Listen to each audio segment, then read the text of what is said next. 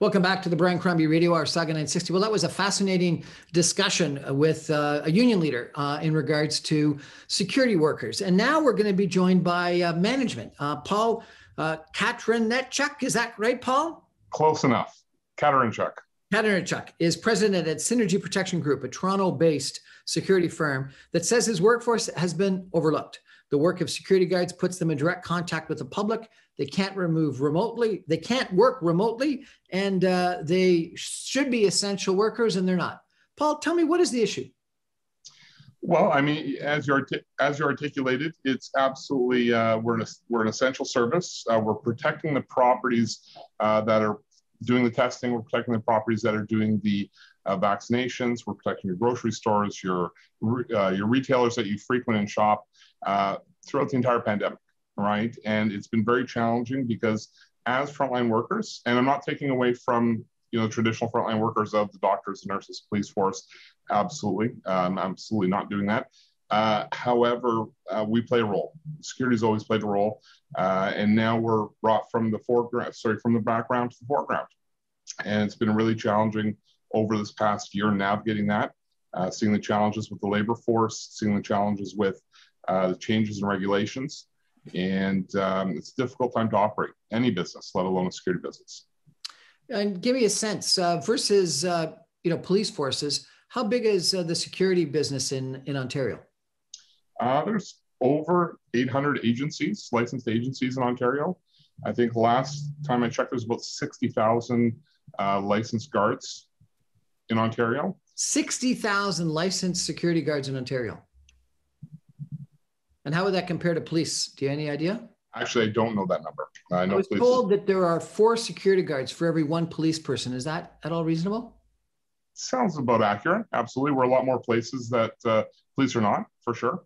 And you know, it's interesting. Um, I was in a hospital just today, and the security guards were at the front door. Um, um, you know, making sure that people were going to see the the the intake people that were screening them for uh, for COVID, and uh, at the at the vaccination center, uh, they were there were security guards there. There there's security guards in all those places that one would think about as being reasonably high risk.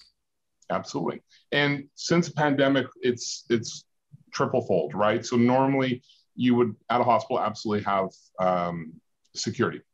At a grocery store, maybe at a high risk location, uh, at a mall for sure, but now you're seeing it at a lot more places. You're seeing it at the entrance, an additional security uh, guard there directing traffic. Um, they're doing line control, they're doing um, social distancing. Construction sites is another uh, pretty big one. Warehousing is another big one where uh, now they have to do COVID screening. So that is our role and the responsibility to make sure the employees come in, check in, do the temperature scan, whether it's on a computer, um, thermal optics on a, on a camera, regardless of how it's done. Uh, there's still security there manning that and making sure uh, that the people are checking in. And if someone's not willing to, uh, um, you know, uh, maintain social distancing, physical distancing, wear a mask, etc., it's often the security guard that has to implement whatever the business's rules are. Is that not the case? Absolutely. And you have uh, you've had a, a change over the last, I'd say, seven months where Traditionally, it was really enforce the mask policy. We're seeing a lot of places uh, because they don't want to be under scrutiny, uh, or I guess uh, they don't want to see the outcomes on social media. They'd rather just say, hey, you know what, if they have a medical exemption, let them have a medical exemption, and they'll just push through and, and let their team members handle it instead of security. Because security naturally brings an element of enforcement into it as opposed to maybe a team member from the store, team member from the hospital, that sort of thing, come by and say, hey, excuse me, can I speak to you? And pull them aside and, and speak to them uh, on a different level. Uh, people tend to think that security is a lot more into enforcement. Instead of having that conversation with us, uh, they're pulling it to the store uh, to the store member or the retailer. Now, my understanding is that uh, Premier Doug Ford uh, and the provincial government at one point in time had suggested or promised maybe in fact, that uh, security guards would be deemed essential workers um, and would get uh, to the front of the line uh, for vaccines and, and treated as essential workers. And it didn't happen. Why not? Well, I, I wouldn't want to be uh, a leader of any kind of a province or the country at this point in time. It's a really challenging time to be at.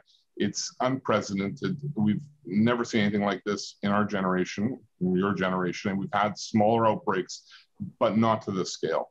Uh, we're living in a global village. Everything's impacted from uh, supply chain overseas uh, to local economy in Northern Ontario. Everything's impacted. So it's it's challenging. You're trying to triage it. You're trying to take the best data you get and have at the time and make decisions on that. So uh, no matter how you stand on the political spectrum, it's still a challenging decision to make. And for whatever reason, we were overlooked. Why? Why were you overlooked? Can't say. There's other priorities, other places, I guess.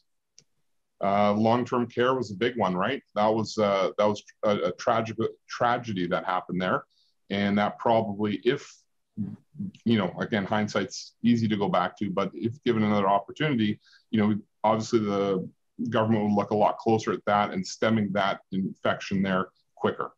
But you take a look at a lot of the uh, the criticisms of long-term care and why it ended up being a problem is because you had uh, contract workers that were working um, uh, at numerous different uh, long-term care facilities that got infected somewhere and ended up taking uh, um, the the the infection from one place to another place to another place. Well, isn't that the same with the security guards? Do security guards go from place to place, or do they tend to be at the same place all the time, full time? Depends. There's a lot that stay in the same place at the same time for years, uh, and then there's a lot that move around. Uh, but unfortunately, it's it's that service economy that we're in, right? You see that a lot. You see that. I mean, you can speak to the same thing with Uber drivers, Skip drivers, um, all these kind of different um, turnkey industries where it's a lot of people moving around, different jobs, different households. Even Instacart, where you're ordering your groceries, you're trying to be safe at home. Um, you have a person that's doing that for 50 different households every day, right? There's transmission possibilities there as well. So there's 60 to 80,000 security guards in Ontario. That's amazing. How many, what, what type of training do they get? Uh, so the province has legislated um, back a few years a 40 hour minimum course that they have to take and pass before they can uh, take a test to get their security license. Uh, that also includes first aid and CPR. And 40 hours, so one week.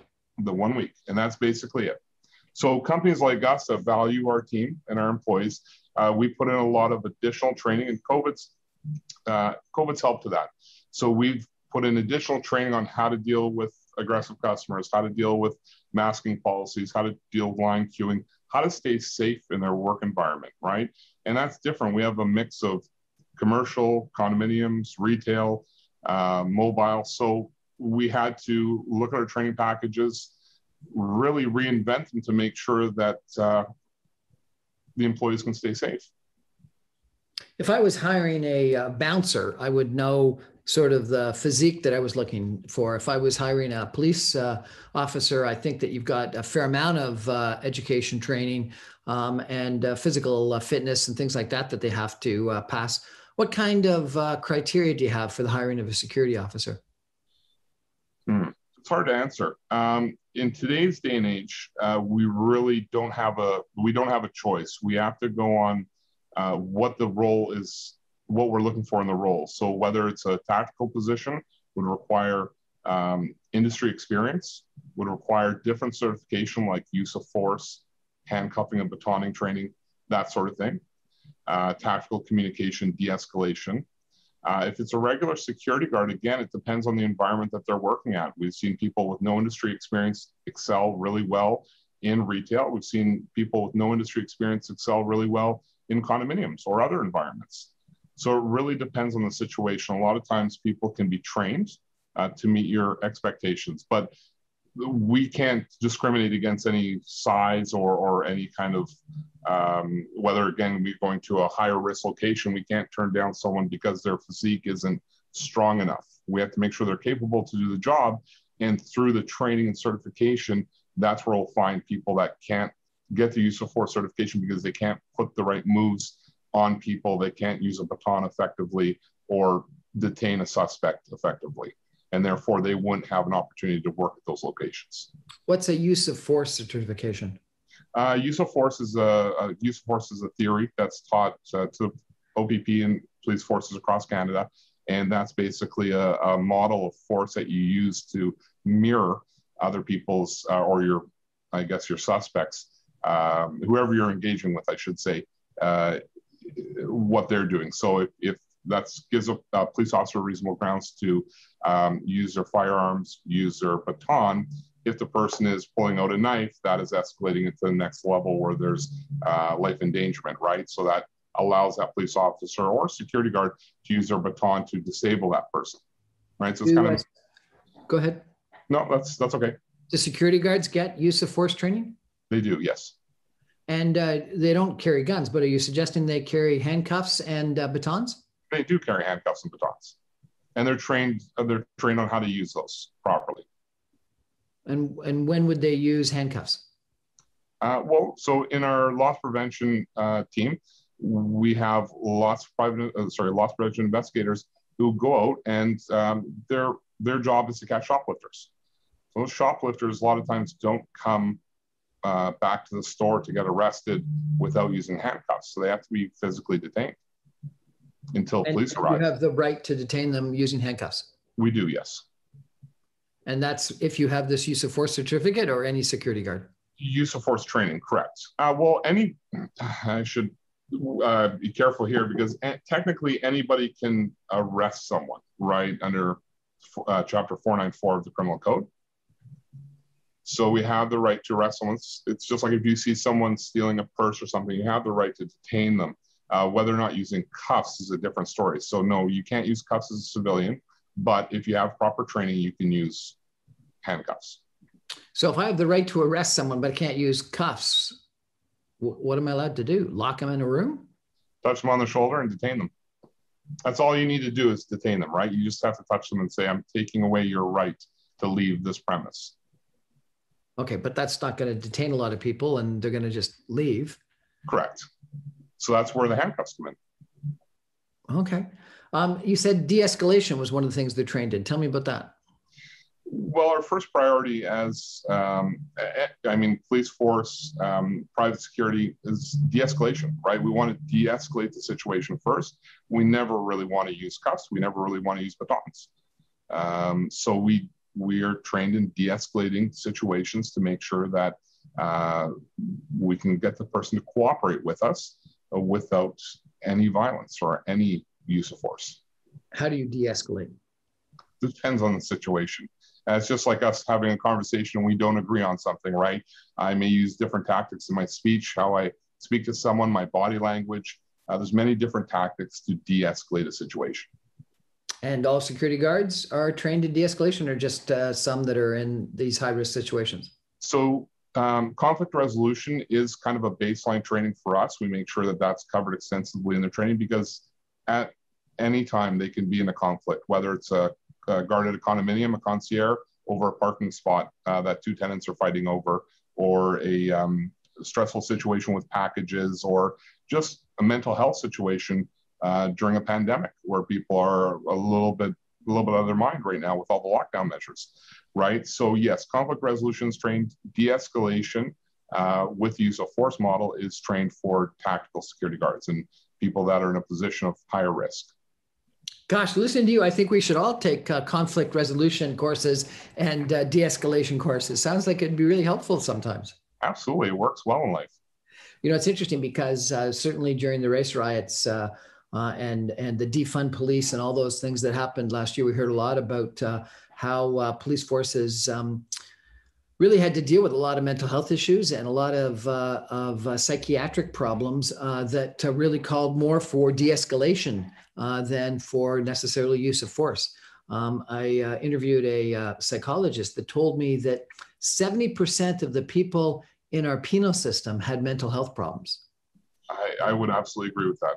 I, w- I found that astounding to think. And so that almost suggests that their violent behavior or whatever it was that got them uh, put in prison was not necessarily a choice. It was because of something messed up in their, their brain um, uh, from a mental health issue. Uh, and that maybe some other kind of solution would have been better. So, you know, what this suggests is that security guards have got a pretty tough job. They do, absolutely. Um, it is a challenging job and it's it's uh, exaggerated by the challenges of the pandemic, for sure. There's no question. So why shouldn't they have been maybe not at the front of the line, but close to the front of the line in getting vaccines? Other pri- I would imagine other priorities. I, I mean, I can't speak to it. I hope that uh, our counterpart on the union had some uh, insightful information on that. Uh, I'm not high enough within the, uh, I guess, the food chain and the political spectrum to get any real information. Um, but it's challenging. We're all kind of working towards a goal. Everyone's got a voice. Everyone's got a lobby, right? So uh, different lobby groups are working their angles and stuff like that, and it, it's challenging. But again, um, we are seeing some traction. We're seeing more doses, uh, more shots in the arm. So that's really good, really positive, and hopefully we can get through this. Do you think you're going to put in place uh, rules uh, in the future that if you're not vaccinated, you can't work as a security guard? That'll be interesting. Um, we've kind of mulled over some of that uh, discussion at the office here, and, and, it would be interesting to see. most likely, there will be something like that put in place, not in general security, but I think in specialized areas. Like high risk situations or high hospitals or hospitals, that sort of thing, where you're more prone, or even long term long-term care centers you're more prone to getting something or giving something to someone that could be detrimental. We're chatting tonight with Paul Katrinichuk, president of Synergy Protection Group, a Toronto-based security firm um, that uh, has security guards that he says has been overlooked in regards to being declared an essential service during uh, the most recent pandemic. Um, we're going to take a break for some messages and come back with some concluding comments in just a minute. Stay with us.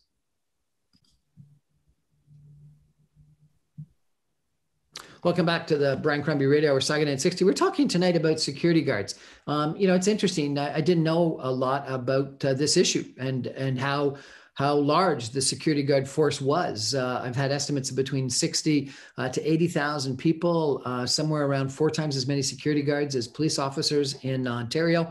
Um, and uh, we've spoken to uh, earlier in the show a union representative, and we're now chatting with Paul Katrinchuk. Is that right? Katrinachuk? Katerenchuk. Close enough. Uh, and he's president of a Synergy Protection Group, a Toronto-based security firm. You've also got operations in Ottawa, I understand. Um, and um, and you know both the union and uh, management are arguing that security guards have been overlooked. Um, Paul, you know, has it been challenging running a security guard company during COVID nineteen? Absolutely. Um, like any business, very challenging. Uh, for the most part, it's it's difficult because of the changing regulations. So we have many customers that open up, close up because of the different uh, lockdown measures. So that means we're hiring, rehiring, training, retraining.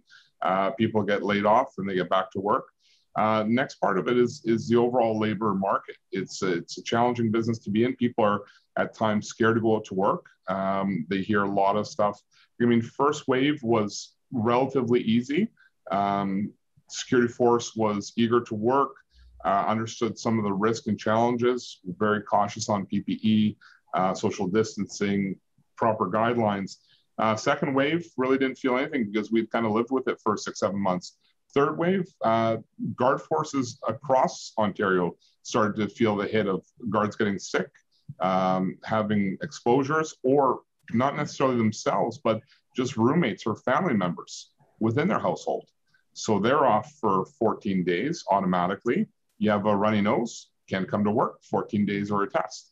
So that when you have someone that's trained specifically for a location, that adds a lot of challenges to managing your labor, right? Especially when you can't operate normally. You can't have interviews like we used to. You can't have group training sessions and that sort of thing. So you really have to manage your resources right. You have to pivot where you can pivot and, and make sure that um, that guard, when they go out in the world, that they feel comfortable doing what they're doing feel that they have the necessary skills and training to do that work.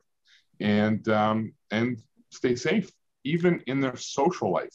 I spoke to somebody uh, i spoke to someone uh, just a week ago that uh, left their job. And it was interesting because they said they were hired a year and a bit ago um, and they left their job and they said during that whole more than a year they'd never met in real life one of their coworkers. And that was one of the problems is they you know couldn't develop uh, uh, a group feel, a connection, uh, got didn't get good training, didn't get mentorship, etc. It was all through video. Yeah, and you can learn to mentor and guide and, and have social experience, uh, social uh, engagement with your team. Uh, and we've le- definitely learned to do that. We have a lot of fun online, and sometimes it's a bit silly, sometimes it's serious, but it's great for employee engagement for sure.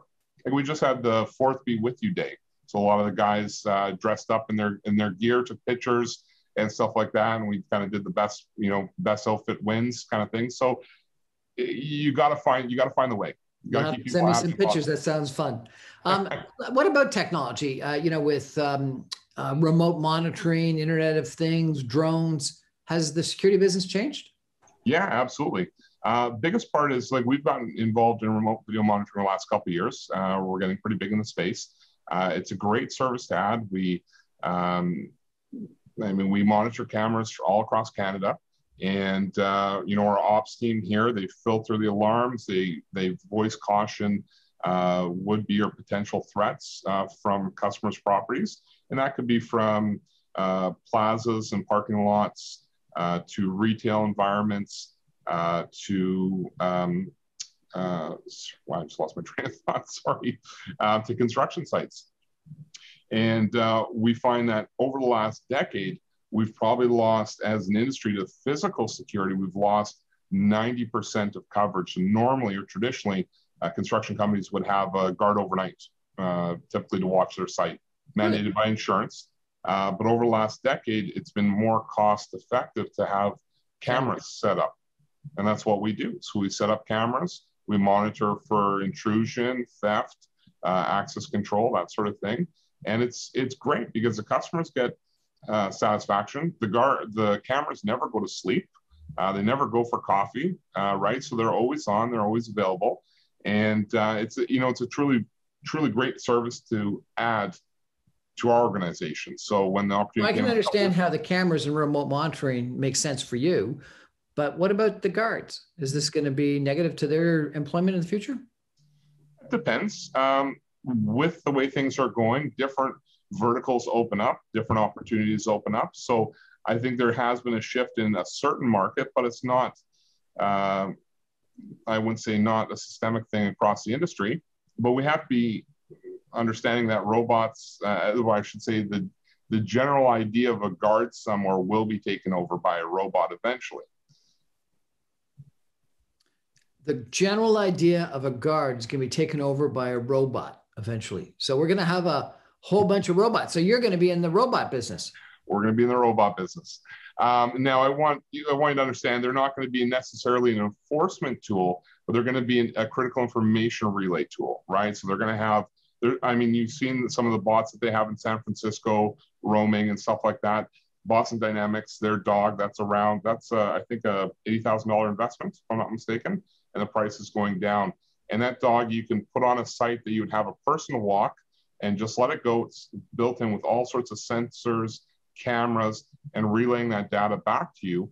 Um, it, it's it's remarkable. It's unbelievable. So we will see that. It won't. There'll still be a need for security do enforcement. There'll still be a need for police or security engagement. But on locations where you'd have maybe a, for example, a mall, you might have a um, a customer service uh, robot, if you will, um, for lack of a better word. And uh, that'll be able to give you critical information. It'll be able to roll through with uh, analytics on the cameras. That'll be able to feed back to you and let you know if there's any banned suspects or persons that's wanted by the police uh, rolling through the property. Um, so there's a lot of exciting technology coming up that's going to be integrated into our everyday lives. I was in a plaza in front of an office building a couple of weeks ago, and uh, there was a person who probably had some mental health issues that was yelling and screaming obscenities at a bunch of the people that were in that uh, outdoor plaza. And uh, two security guards uh, came up and did an incredibly uh, good job of, of uh, calming the person down and walking them off the property. They actually called the police. the police arrived after the person had left, so the police could not have done the job, but at least they were notified in case anything had escalated. I can't imagine a robot being able to do that successfully. No, not at all. And that's where the engagement still needs to happen, right? Um, that's great to hear those stories because a lot of times you hear the negative stories, but it's great to hear um, our guys in the field encounter mental health issues all the time. And it's about that de escalation. It's about understanding that this person is is not healthy right now right and they're not gonna they're not gonna be reasonable uh, there's no need to amp up the situation or or you know take it any further just calm them down relax a little bit take them back and walk them escort them off the property Paul Katnerchuk, uh, president at Synergy Protection Group, uh, Toronto-based security firm. Thanks for joining us tonight and telling us a little bit about the challenge security guards and security guard businesses have uh, during COVID 19 and uh, this issue that they uh, wanted to and were promised to be declared an essential service, get vaccinated uh, near the front of the line, and that hasn't happened. Um, but also interesting hearing about uh, about use of force, about uh, about de-escalation, and about technology and how it's changing your business. Thanks so much, Paul. Thank you very much. Take care. Well, that's our show for tonight. Hope uh, you enjoyed uh, listening to these two gentlemen. Um, I come to you every Monday through Friday at 7 o'clock on 960 AM. You can stream me online at www.sauga960am.ca. All my podcasts and videocasts are available after the fact on my website, briancrombie.com, or on uh, YouTube for the video and on uh, Apple Podcast, Audible, uh, Speak, uh, Speakeasy, and a whole bunch of other podcast vehicles. If you're at all interested, please listen, watch, and share. Thanks. Good night, everybody.